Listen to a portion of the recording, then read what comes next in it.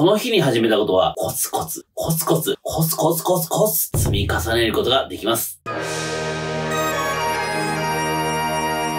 運が覚醒する、気運上昇チャンネルのタナミです。気運上昇チャンネルに LINE アットができました。気運が上がる特別な6つの特典をプレゼントします。詳しくは概要欄をチェックしてみてくださいね。12月17日から始まった7連続騎士術も、いよいよ明日で最終日となりました。7連続吉日ラッシュ、いかがでしたか？金運覚醒ウィークと重なったこともあって、この時期が今までと比較にならないぐらい金利収入のご報告が多くって、コメント欄を読んでいるだけでも、そんなことって起こるの？本当にそんなことあるんだね。って思うこともたくさんあって、僕自身もブロックや思い込みが外れるような素敵な一週間となりました。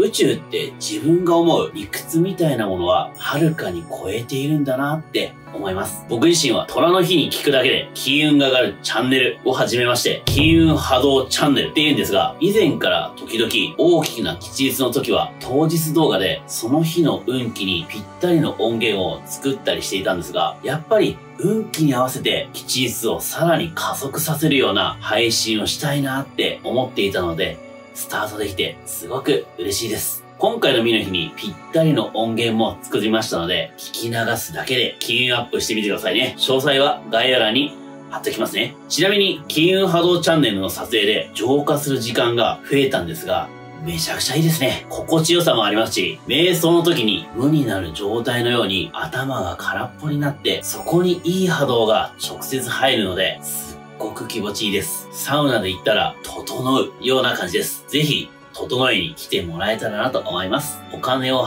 運んできてくれる友人さんたちも登場します。さて、7連続吉日の鳥は財運、金運の美の日です。紅白で言ったら、サブちゃんのポジションですが、ぴったりの吉日ですね。今日はそんな美の日の運気とおすすめの過ごし方についてお話をしたいと思います。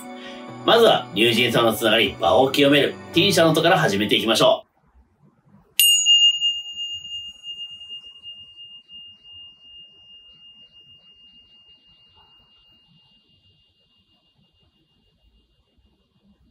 それでは早速、行ってみましょう。大鳥を飾る23日の美の日は、12着は取る活動の成長や発展を促す育っていく運気です。この日も金運覚醒ウィークと重なって、普段より3倍エネルギーが強い強運の黒金にこの日始めたことは発展し影響力を持つようになる絶対拡張金も重なっています。黒金と絶対拡張金が重なる吉日は260日の中でも2日だけでとても珍しい日なんです。さすが大鳥の吉日は、サブちゃんの目立たさと、さっちゃんの華やかさを兼ね備えていますね。ちょっと、わかりにくかったらすいません。今の紅白の大鳥って誰になるんですかね話はそれましたが、この日の前歴は、金114、白い魔法使い、赤い蛇、音10です。どちらも努力が得意で、コツコツと行動することができることが特徴の日です。この日に始めたことは、ゴールまで粘り強く、コツコツ、コツコツ、コツコツコツコツと、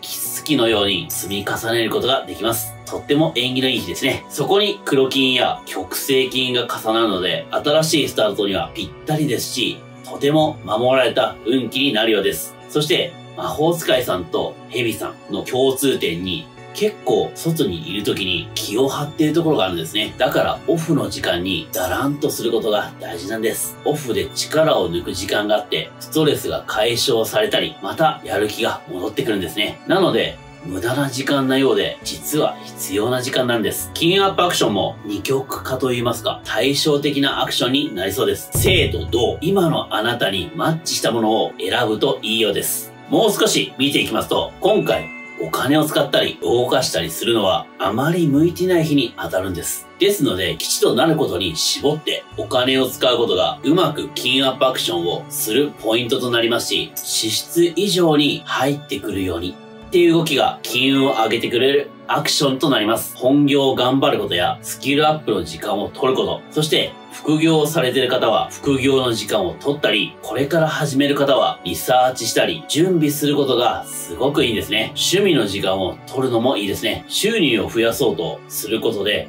金運が良くなってきます。23日は投資や臨時収入を狙うようなお金を増やす動きよりも、労働など成功法でお金を増やそうとすることが金運を高めてくれます。読書もこの日は金運アップアクションとなる日ですので、ちょっとまとめていきますと、23日の美の日はお金を使うことはあまり向かない日で、金運アップにつながることは、収入を増やそうとするアクションは、金運の流れが上昇してきます。収入につながることに関しては、新しいスタートはとてもいい日、強いサポートが入るので、この日のスタートはとてもいいですね。そして読書もおすすめです。ちょっと今、副業だったり稼ぐことに関して特に何もやってないよ、予定がないよという場合と、あと、師走師走でちょっとお疲れちゃんだなという場合は、お家でゆっくりリラックスすることも運気のリズムを整えてくれるので、キーアップアクションとなります。映画を見たり、動画を見たり、本を読んだり、ゲームをしたり、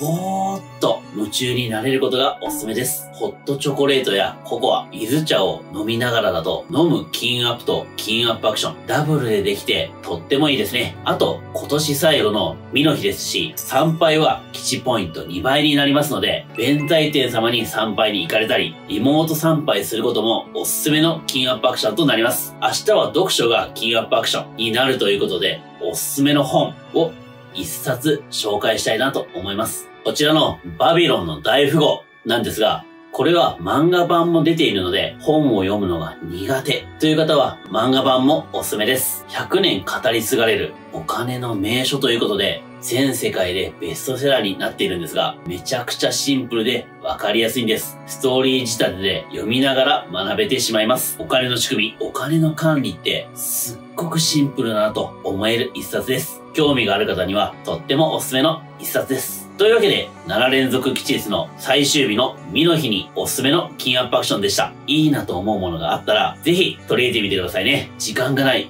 余力がないっていう方は、金融波動を聞いて、ながら金アップがおすすめです。今日の動画がいいなと思ったら、グッドボタン、そしてチャンネル登録をお願いします。最後に邪気を払い、波動を上げる鈴の音でお別れをしましょう。